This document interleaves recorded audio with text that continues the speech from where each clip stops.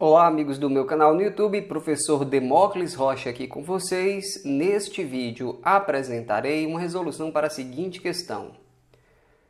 Considere as seguintes afirmações. Primeira, se n é um número natural, então essa soma aqui é maior ou igual a 1 meio. Segunda afirmação, se x é um número real e x ao cubo mais x mais 1 é igual a zero, então x ao quadrado mais 1 sobre x mais 1 sobre x à sexta é igual a zero. Terceira afirmação. Se A, B e C são números reais positivos que formam nessa ordem uma progressão aritmética, então esses três números aqui formam nessa ordem uma progressão aritmética. É ou são verdadeira ou verdadeiras. Aí você tem os itens. Muito bem, amigos. Vamos partir agora para uma resolução. Se você apoia esta iniciativa, deixe o seu like. Inscreva-se no canal e acione o sininho das notificações se você quiser ficar sabendo dos nossos próximos vídeos. Vamos lá! Vamos começar pela primeira afirmação. Se n é um número natural, então o inverso de n mais 1 mais o inverso de n mais 2 mais assim vai até o inverso de 2n é maior ou igual a 1 meio? Vamos julgar essa afirmação. Vamos começar lembrando que a média aritmética é maior ou igual à média geométrica, que é maior ou igual à média harmônica. Vamos utilizar esse fato da seguinte maneira. Vamos calcular a média aritmética dessas parcelas que aparecem aqui. Quantas são essas parcelas? Se você prestar atenção, você vai perceber que são n parcelas. Então, se a gente somar todas elas e dividir por n, a gente está calculando a média aritmética. A média aritmética é maior ou igual à média geométrica, que por sua vez é maior ou igual à média harmônica. A gente vai utilizar a média harmônica bem aqui, então. A média aritmética é maior ou igual à média harmônica. Como é que é a média harmônica? Ela é o inverso da média dos inversos. Então temos aqui, ó, n termos. Vou calcular a média aritmética dos seus inversos. O inverso desse termo aqui, ó, é n mais 1 o inverso desse termo é n mais 2, e assim vai. O inverso desse último é 2n. Então, a média harmônica ó, é o inverso da média aritmética dos inversos dos termos. Desse jeito aqui. O lado esquerdo da desigualdade eu só repeti. Eu vou trabalhar com o lado direito. Eu vou escrever agora o inverso dessa fração aqui. O n sobe e esse numerador desce. Agora eu vou multiplicar por n dos dois lados. Do lado esquerdo, esse n cancela com esse n aqui. Então, do lado esquerdo da desigualdade, só vai sobrar essa parte aqui. Ó. Vou escrever bem aqui. Agora, do lado direito da desigualdade, quando eu multiplicar essa fração por n, o numerador vai se tornar n ao quadrado.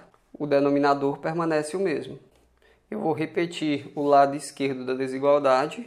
No lado direito, observe o seguinte. Essa soma que aparece aqui embaixo você pode entender como a soma dos termos de uma progressão aritmética, em que o primeiro termo é n mais 1, o enésimo termo é 2n e a razão é 1.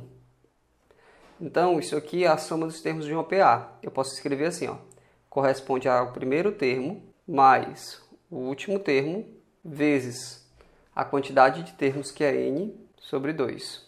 Eu vou repetir o lado esquerdo da desigualdade e vou trabalhar com o lado direito. Para trabalhar com o lado direito, eu vou repetir aqui n ao quadrado, que é o numerador, e vou multiplicar pelo inverso do denominador. Então, esse 2 sobe e essa expressão aqui desce. Agora, n ao quadrado dividido por n dá só n. Fica só n aqui. Mais uma vez, eu vou repetir o lado esquerdo da desigualdade. Do lado direito, numerador, vou ficar com 2n. No denominador, a gente vai ficar ó, com 2n mais n, 3n, mais 1. Então, essa desigualdade aqui é verdadeira. Para que esta desigualdade seja verdadeira, para n natural, basta que essa fração aqui ó, seja maior ou igual a 1 meio para n natural. Vamos avaliar se isso ocorre. Será que 2n sobre 3n mais 1 é maior ou igual a 1 meio? Como estamos trabalhando com numerador e denominador positivo aqui sempre, porque a gente está supondo n natural, a gente pode multiplicar em cruz e o sentido da desigualdade se mantém. Como assim, professor? Eu posso escrever assim, ó, 2n vezes 2, 4n, maior ou igual a 3n mais 1 vezes 1, 3n mais 1. Eu só pude fazer isso aqui, ó, porque esses valores aqui são positivos, tá? Agora isso aqui é equivalente a ter o quê? Subtraindo 3n dos dois lados, ficamos 4n menos 3n dá só n, maior ou igual a isso aqui, ó, menos 3n dá 1. Então, isso aqui é equivalente a dizer que n é maior ou igual a 1. Ora, n sendo natural, isso ocorre. Então, essa fração aqui é mesmo maior ou igual a 1 meio. Então, podemos concluir que essa soma aqui, ó, sendo maior ou igual a essa fração, que por sua vez é maior ou igual a 1 meio, então essa soma aqui é maior ou igual a 1 meio, nas condições do problema, isto é, para n natural. Logo, a primeira afirmação é verdadeira. A primeira afirmação é verdadeira. Vamos julgar agora a segunda afirmação. A segunda afirmação diz que se x é um número real e x ao cubo mais x mais 1 é igual a zero, então x ao quadrado mais 1 sobre x mais 1 sobre x à sexta é igual a zero. Você olha para essa equação aqui, uma das estratégias que você pode querer tomar é determinar uma raiz real dessa equação aqui, substituir nessa expressão e ver se ela realmente dá igual a zero. Aí você pode até pensar, será que essa equação aqui tem alguma raiz trivial? Se você substituir o x por 1, você vai ver, ó, 1 ao cubo mais 1 mais 1 não vai dar zero. Então 1 não é raiz. Será que menos 1 é raiz? Menos 1 ao cubo dá menos 1, mais menos 1 dá menos 2, mais 1 dá menos 1, não dá zero. Então, menos 1 não é raiz. Zero também não é raiz, né? Bom, então descobrir as raízes dessa equação aqui está meio difícil, né? Então vamos avaliar essa expressão aqui. Ó. Será que essa expressão é mesmo igual a zero, sabendo que x ao cubo mais x mais 1 é igual a zero? Vamos olhar.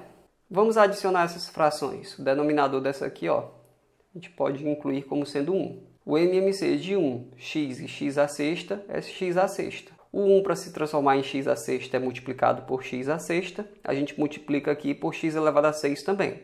x ao quadrado vezes x elevado a 6 dá x elevado a 8. O x para se transformar em x à sexta é multiplicado por x elevado a 5. Uma vez x elevado a 5 da x elevado a 5, bem aqui. O x à sexta, para se transformar em x à sexta, é multiplicado por 1. Uma vez 1 dá 1. Professor, parece que complicou um pouco as coisas. Vejamos. Aqui em cima, no numerador, vamos colocar x à quinta em evidência bem aqui. Ó. Aqui temos x elevado a 8. Se a gente coloca x elevado a 5 em evidência, então para cá vem x elevado a 3. Se tu multiplicar, ó, x elevado a 5 vezes x elevado a 3 dá x elevado a 8. Como eu coloquei x elevado a 5 em evidência, então daqui ó, vem mais 1. Se eu multiplicar, volta para o que tinha antes, tá? Para que, que você fez isso, professor? Fiz isso para você observar o seguinte. Ó. A gente sabe que x ao cubo mais x mais 1 é igual a zero, tá? Então, x ao cubo mais 1 é igual a quanto? Joga esse mais x para o outro lado. É igual a menos x. Então, já que a gente está assumindo que isso aqui é verdade, onde tiver x ao cubo mais 1, eu posso trocar por menos x, bem aqui. Ó. Então, vou ficar com o seguinte, x à quinta vezes menos x mais 1 no numerador. Porque onde tinha x ao cubo mais 1, eu pude substituir por menos x, já que essa igualdade aqui é verdadeira, né? a gente pôde isolar x ao cubo mais 1 e escrever como menos x. Aí eu substituí aqui. Agora, x à quinta vezes menos x dá menos x à sexta. Então, temos 1 menos x à sexta, tudo isso sobre x à sexta. Isso aqui é igual ao seguinte, separando em duas frações, fica 1 sobre x à sexta menos x à sexta sobre x à sexta, que dá 1. Então, a gente fica imaginando, será que isso aqui ó, dá zero? Será que isso aqui dá zero? Para que isso aqui ó, desse zero, o x teria que ser quanto? Professor, isso aqui só daria zero se o x fosse 1 ou menos 1. Porque aí, 1 ou menos 1, a sexta daria 1, aqui ficaria 1, né? 1 menos 1, 0. Só que o x não é nem 1 nem menos 1. Porque a gente viu aqui, ó, tanto 1 como menos 1 não são raízes dessa equação. Então, não tem como essa expressão aqui, que é igual à nossa expressão aqui, ó, essa daqui, não tem como ela ser zero. Portanto, essa segunda afirmação é falsa. A segunda afirmação é falsa. Vamos passar a avaliar agora a terceira afirmação. Se A, B e C são números reais positivos que formam nessa ordem uma progressão aritmética, então 1 sobre a soma de raiz quadrada de B com raiz quadrada de A, 1 sobre a soma da raiz de C com a raiz de A e 1 sobre a soma da raiz de A com a raiz de B formam nessa ordem uma progressão aritmética. Vamos ver. A gente já está supondo ó, que A, B e C são números reais positivos que formam nessa ordem uma progressão aritmética. Dizer que A, B e C formam uma progressão aritmética é equivalente a dizer que B menos A é igual a C menos B, porque B menos A dá razão e C menos B também tem que dar razão.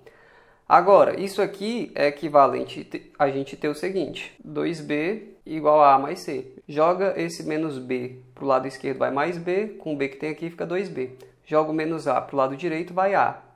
Então, dizer que A, B e C nessa ordem formam uma progressão aritmética é equivalente a dizer o seguinte: a soma desses dois termos aqui, ó, a soma dos extremos, tem que ser o dobro do termo central. Dizer que A, B e C formam uma progressão aritmética nessa ordem é equivalente a dizer que a soma dos extremos, isto é, A e C, corresponde ao dobro do termo central. Vamos utilizar essa mesma ideia para verificar se isso aqui ó, forma uma PA. Isto é, vamos adicionar os termos extremos e vamos ver se quando a gente adicionar, a soma vai ser o dobro do termo central.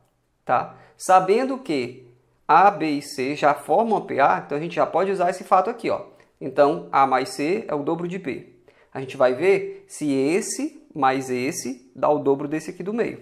Vamos lá. Então, a gente vai verificar ó, se a soma desses dois aqui, que eu escrevi bem aqui, vai ser mesmo o dobro desse termo central, sabendo que 2b é igual a A mais C. Eu vou começar racionalizando essa primeira parcela aqui. Ó. Eu vou multiplicar em cima e embaixo por raiz de B menos raiz de C. A gente sabe que fazendo isso aqui a gente está multiplicando por 1, então o valor da parcela não se altera. A gente vai racionalizar essa segunda parcela aqui também. Só que neste caso a gente vai multiplicar por quanto? Em cima e embaixo a gente vai multiplicar por raiz de A menos raiz de B. Eu vou apagar essa parte aqui, ó. Vou apagar isso aqui.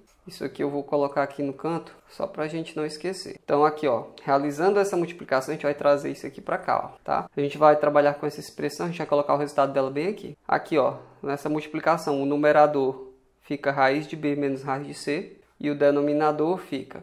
Quando a gente multiplica a soma de raiz de b com raiz de c pela diferença de raiz de b com raiz de c, fica o quadrado do primeiro menos o quadrado do segundo. Então, como b e c são positivos, fica b menos c. Aqui, ó, do mesmo jeito. No numerador, a gente está multiplicando essa expressão por 1, então vai dar ela mesma. Isto é, raiz de A menos raiz de B. E no denominador, a gente está fazendo o produto da soma pela diferença de raiz de A e raiz de B. Então vai ficar o quadrado do primeiro menos o quadrado do segundo, isto é, A menos B. Eu vou apagar isso aqui. Agora, ó, onde tem B, onde tem B, eu vou substituir por A mais C sobre 2, né? Basta passar esse 2 dividindo. Então, onde tem B, eu vou substituir por A mais C sobre 2. Observe, aqui tem B, eu vou colocar A mais C sobre 2. Ainda tem esse menos C aqui. Aqui, ó, raiz de B será a raiz quadrada de A mais C sobre 2. Aí aqui menos a raiz quadrada de C. Eu sei que está feioso, mas já já vai ficar bonito. Aqui temos A menos B, então vai ser A menos. O que é o b? a mais c sobre 2. No numerador temos raiz quadrada de a menos a raiz quadrada de b. Só que b é a mais c sobre 2. É agora que começa a ficar bonito. Aqui onde a gente tem menos c, é, a mesmo, é o mesmo que a gente tem menos 2c sobre 2, concorda? Beleza. Então o que, que sobra aqui? Ó? a mais c menos 2c.